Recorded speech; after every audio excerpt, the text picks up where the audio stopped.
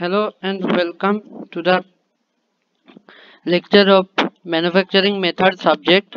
Now in this lecture, this is our lecture 4 and in this lecture we will study about casting process and equipment and this is the second part. So in the previous part of casting process and equipment, we have studied about expandable mold, expandable mold, expandable expandable mold permanent pattern casting. Now in this lecture we will see about expandable mold permanent pattern expandable pattern casting and after that we will see some uh, uh, types of the permanent mold casting. Now this lecture has lecture objectives such as to present the principle of different casting processes and secondly to understand the characters characteristics of each processes along with their application advantages and limitations. So now in the expandable mold pattern casting in the expandable mold pattern casting what are the topic we have to study? We have to study we have to study first first we have to study about um, evaporative pattern and investment casting these are the two types of the expandable mold, expandable pattern casting. First one is evaporative pattern type and next is investment casting. These two are referred to referred as expandable pattern casting and uh, or expandable mold, expandable pattern casting. Now what are the uh, uniqueness? They are unique in that the mold and the pattern must be produced for each casting. That means after every casting the mold and pattern both are destroyed. So that's why uh, they can be mm, they are called expandable mold or expandable mold and expandable pattern casting. Now the typical applications, what are the typical applications? Typical applications are make for making cylinder head, engine block, crankshaft, brake component and exhaust and inlet manifolds and machine bases. The uh, expandable mold expandable pattern casting is uh, used. Now first we will see about the evaporative pattern casting. What is evaporative pattern casting? This is also known as lost foam casting. Evaporative pattern casting means patterns also evaporate the pattern evaporates. So we will see the process but it, it, it is also known as lost foam casting. It falls under the trade name of it has a trade name that is full mold process.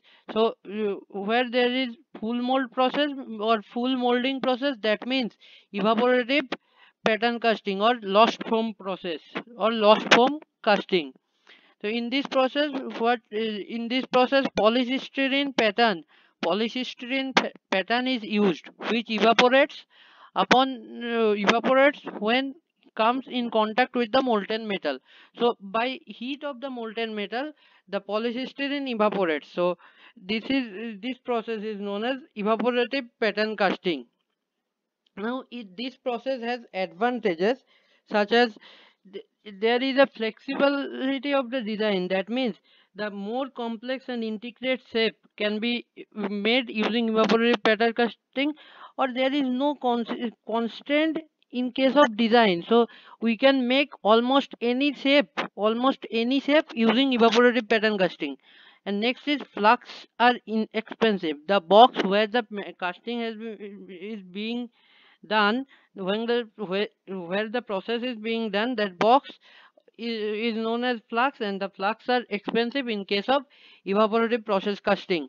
Now polystyrene this polystyrene this molding material it is also inexpensive and can be produced easily into the into pattern uh, patterns having polystyrene can be produced easily into patterns having complex shape various size and fine surface details so another the minimal finishing and cleaning operation. Means here in case of in case of evaporative pattern casting or lost foam process what happens? Very nominal amount of machining is required. Very nominal amount of machining is required. And it can be automated and it is economical for longer production runs.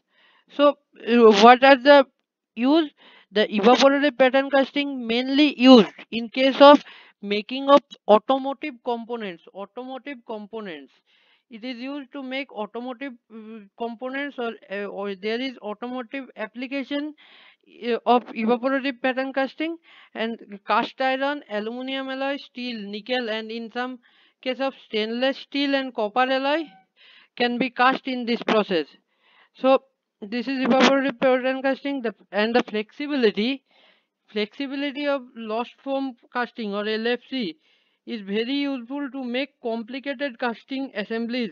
That means integrate shape lost foam process is mainly used lost foam casting is mainly used to make to make integrate shape or most complex shapes can be uh, can be made or can be casted using this process lost foam process and the surface finish will be very accurate will be high and the dimensional tolerance will be very close. Close. So uh, uh, cylinder head weldments and uh, simple and uh, weldments that can be made using the evaporative pattern casting and this is this is this is a simple and inexpensive method. So used in maximum foundry work. So now we will see evaporative pattern casting process how the process works first the polystyrene beads are placed. First the pattern is made. So how the pattern is made? The, those polystyrene beads are placed in a die which usually made of aluminum. So you, when we place the polystyrene pattern in a die the polystyrene pattern and then if we heat and then if we heat the die cavity then polystyrene pattern expands and take the shape of the die cavity. So again after that additional heat is applied to additional heat is applied to fuse the bead together. So by fusing the beads together they uh, we got the shape of the we got the shape of the cavity and the, then die is after the cooling of the die and opening the polystyrene uh, polystyrene pattern is ready. Now the first step is pattern molding. So after the pattern molding after the pattern molding these pattern are uh, uh, gain together to may form a cluster then this cluster then this cluster then this cluster is put into the abrasive slurry this pattern is coated with then the pattern is coated with water based refractory slurry and dried up and dried so there is after the pattern making there is coating. The coating is of refract water based refractory slurry and after that this is dried after the this is after this coating is done this pattern is placed this pattern is placed into the mold box or into the flask and um, the pattern is uh, placed into the flask and surrounding it surrounding it sand is poured and compacted. Surrounding it sand is poured and compacted. That means the flask is then filled with loose fine sand which surround and support the pattern. After that what happened uh, in the in this process in here we also make the arrangements we also make the arrangements for sprue riser and gating system in the uh, pattern itself in the pattern itself or in the uh, in the pattern itself. And after the sand compaction after the compaction of the sand what we do we pour the molten material into the pouring basin into the pouring basin and this evaporates this evaporates the uh, polystyrene polystyrene and in place of polystyrene where that place is taken by the molten metal this place is taken by the molten metal. Now upon solidification what happens? That molten metal takes the shape of the uh, of the pattern takes the shape of the pattern. Now up uh, now the the uh, casting is taken out taken out now the casting is taken out and further machining has been done as per requirement as mm, further measuring has been done as per requirement. So this is the process how the evaporative pattern of casting, evaporative pattern casting or lost foam casting work. This is the process. So now we will see about investment casting. So investment casting is also called lost wax process. It is called lost wax process. Why? We will see. So the typical parts which are made by investment castings are component of office equipment, office equipment as well as mechanical components such as gear, cam, valves and ratchets. Now the the term investment, why this is called investment? Because of the fact that pattern is invested that or surrounded with refractory material numerous number of times. So this is why it is called investment.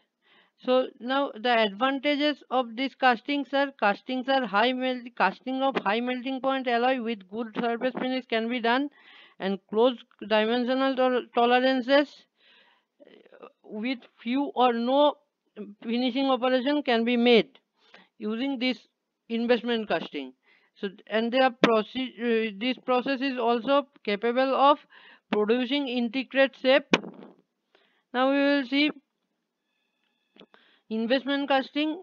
Uh, in investment casting first the uh, the process of investment casting the first the pattern is made of pattern is made by using wax plastic such as polystyrene and by molding or rapid prototyping technique.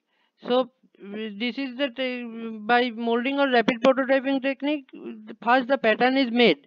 After the pattern is made pattern is dipped into next the pattern is dipped into slurry of refractory material such as fine silica binders. What are the refractory materials? Fine silica binders which includes water ethyl silicate and acid. And then uh, that is the method to gain initial coating. So after the initial coating has been done that material is dried and the pattern is uh, again the pattern is coated. This repetition of uh, this repetition is uh, done to increase the thickness for better strength increase the thickness of the pattern to for better strength. So this process this process of investing the surrounded material or investing the investing the refractory slurry material is known as uh, invest is uh, due to this process of investing the refractory slurry this process is known as investment casting. Now what happened? After the desired thickness after desired thickness of the material after the desired thickness of the pattern is achieved what is done? The material is heated the uh, the molding is dried and heated above the melting temperature above the melting temperature and molding material is molding material and left at inverted position. That means after the coating is over it is heated so that the uh, wax or the molding material inside the inside the pattern get melted get melted and after the melting after melting that is that is left in inverted position so that the leftover of the pattern leftover of the molding material should not be there. That means leftover of the molding material is came out due to gravity. So this is the uh, after the after that the metal has been poured into the pattern and they get solidified uh, they get solidified. As they get solidified the mold is break down and casting is removed. So when in uh, this is the process of casting uh, process of investment casting and when the uh, pattern when the number of pattern can be joined to make one mold that is called tree. So this is the process of investment casting. First mold making first mold making that is uh, mold make pattern injection of wax in or plastic pattern. After that after that pattern is ejected this is the wax pattern. Now by using this wax pattern first we make a pattern assembly or tree. After the pattern, pattern assembly or tree we just put the pattern we just put the pattern into the uh, slurry coating into the slurry coating after the slurry coating has been done after the slurry coating has been done or after the slurry coating has been invested the next another step is there another type of coating is there that is this coating and after this coating has been done it is placed in inverted position and this is the the completed mold look like this. Now by heating now by heating in a autoclave. Now by heating in a autoclave autoclave is a type of furnace. Now by heating in a autoclave the internal material the internal material that is wax or other uh, polystyrene material so or other wax or other plastic is melted down and this process is known as pattern melt out after the pattern melt out has been done after the pattern melt out has been done the molten metal is poured into the cavity and then uh, upon solidification of the molten metal the uh, the casting has been shaken out casting has been shake out and we got the uh, we got the pattern as per our desire. And the dimensional tolerance and the dimensional tolerance uh, or and the dimensional tolerance and surface finish of the casting of the casting and the pattern will be uh, will be similar so this is the process of investment casting now we will see about the permanent mold casting some of the permanent mold casting in permanent mold casting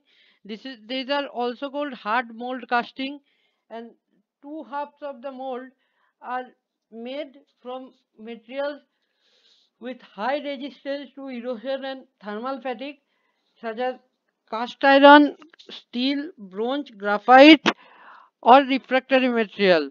So, so next the typical parts that can be made using the permanent mold casting that are automobile pistons, cylinder shell, cylinder head, automobile pistons, cylinder head, connecting rods, gear, gear blanks, and kitchenware. These are the these are the permanent mold. These are the application of the permanent mold casting. Now mold cavity and the gating system. Then the mold cavity and the gating system are machined into the mold. Thus, it become the integral part of it. So for permanent mold casting Remember that mold cavity and gating system, mold cavity and gating system are machined together along with the mold, along with the mold. So, it becomes the integral part of the mold. So, in order to increase, to now this permanent mold castings, um, permanent mold castings, for permanent mold casting, mold should be used more than one time.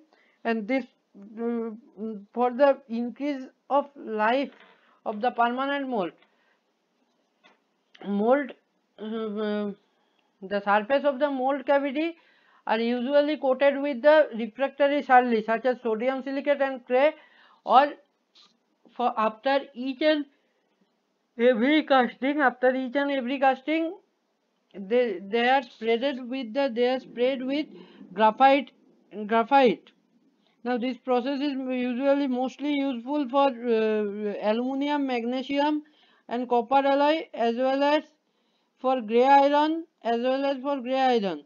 So because of their uh, lower melting points. Now we will see about the vacuum casting. In this vacuum casting what happened in this vacuum casting in this vacuum casting the typical parts that can be made are Superalloy gas turbine component with very thin wall can be made using vacuum casting. So what happened is a fine mixture of sand and urethane are molded over the over the metal dies uh, and cured with the amine amine vapor.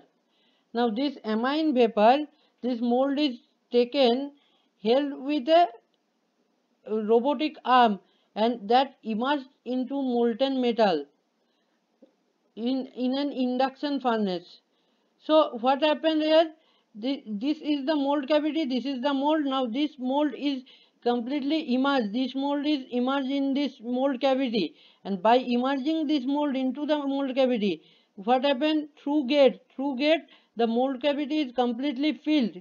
After when uh, completely filled due to negative pressure, due to negative pressure. Now when we move up, when we move up the material, when we move up the material, so uh, when we move up the mold cavity or mold, there at that time what happened?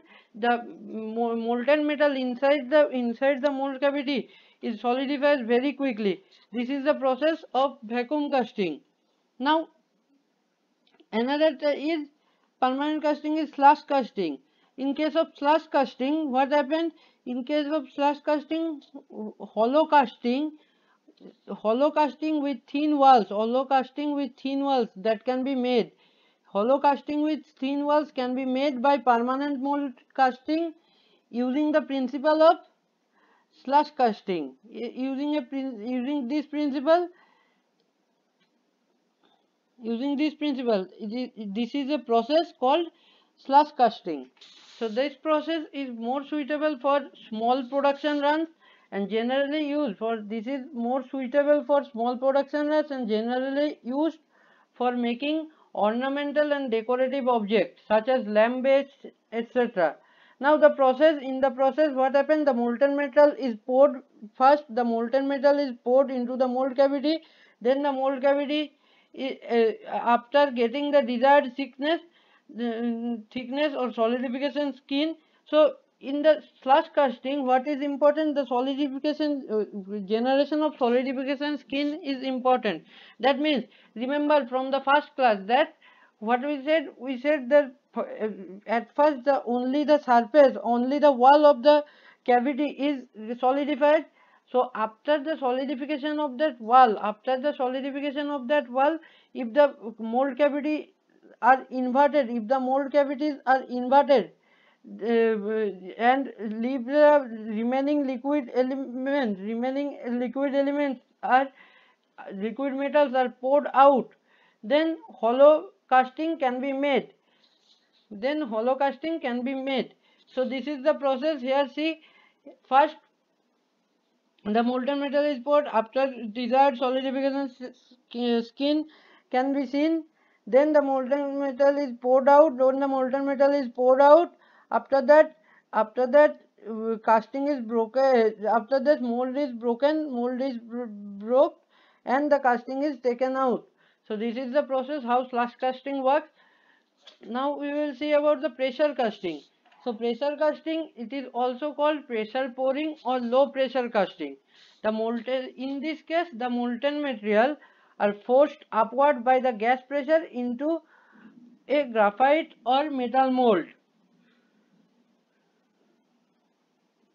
the pressure is maintained. The pressure is maintained at uh, maintained until the metal solidifies completely into in the mold. And the molten metal is also is also maybe forced upward by vacuum which is also removes the dissolved gases uh, and produces a casting with lower porosity. So pressure casting is generally used for high quality casting such as steel, railroad car wheels etc. So this is the process of pressure casting. Here the pressure is uh, here the pressure is low pressure is given. So due to this low pressure, due to this low pressure material, this material, the molten material will move through this duct to the mold cavity, to, uh, to the mold cavity. So